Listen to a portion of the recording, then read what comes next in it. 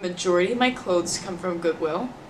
So it's kind of like, I guess the vibe I would describe it, it's like who wore it better, like me or your grandma? But that's a trick question because women don't compare themselves to each other, you know?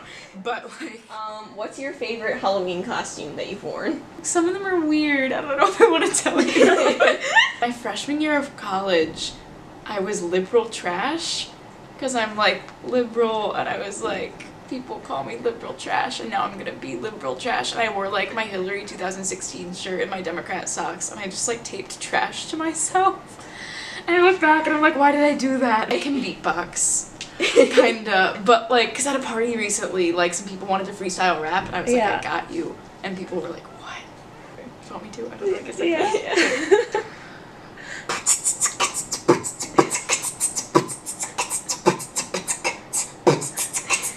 I'm that's done. That's enough. Sorry. I don't know if I want to was, listen to yeah, that. you're good. That, I was impressed. You. I was in an acapella group for a semester. That's really cool. So I took that away from it. What's the most scared you've ever been?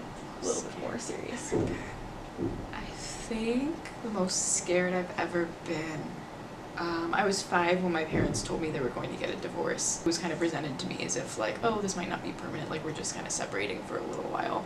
So I think the unknown was scary, and then like realizing that it wasn't temporary. That was kind of when it really sunk in. Um, but I'm fine. You know, my parents are really civil, and like I'm really lucky. Um, a lot of kids with divorced parents don't have parents that can be in the same room with each other. Um, and I just remember um, for all of my significant life events, they've always both been able to be there. I went out to dinner with both of them after inauguration, and I'm just really lucky that I have parents that can be that way with each other.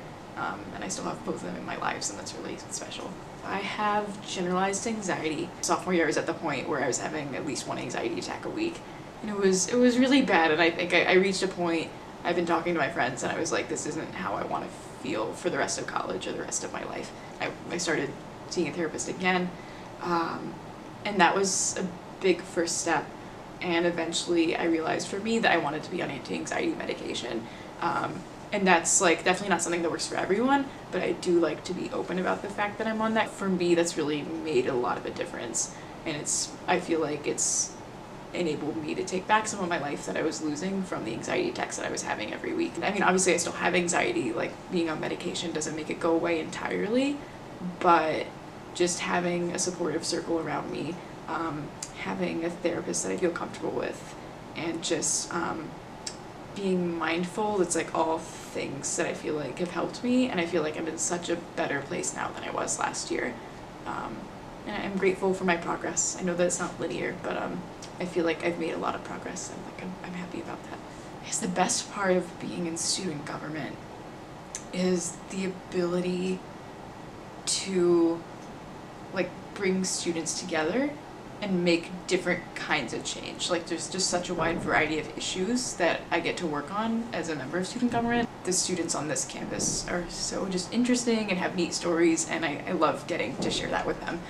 The worst thing is knowing that not everything I do is going to make everyone happy. It's inevitable that I'm going to make decisions that some people are going to like and some people aren't and that's definitely been hard to get used to because I'm, I'm just someone who cares a lot about how people feel um, very much a people person and I do care a lot about what other people think and making sure that others are happy so I, and that's kind of like that's what drew me to student government in the first place was like community building and you know making change that positively impacts others the weirdest thing people recognize me and I don't know them. Sometimes a tour group will walk by me and the tour guide will be like, that's our student body president. And like most of the time that that's happened, it's when I look really gross. I was like leaving swim and I was like, I needed to shower. And I was like in a sweatshirt and this whole tour group walks by and someone was like, oh, this is like Kelsey Vita, she's our student body president. And I was like, no, don't look at me. Like, stop. I'm getting used to it.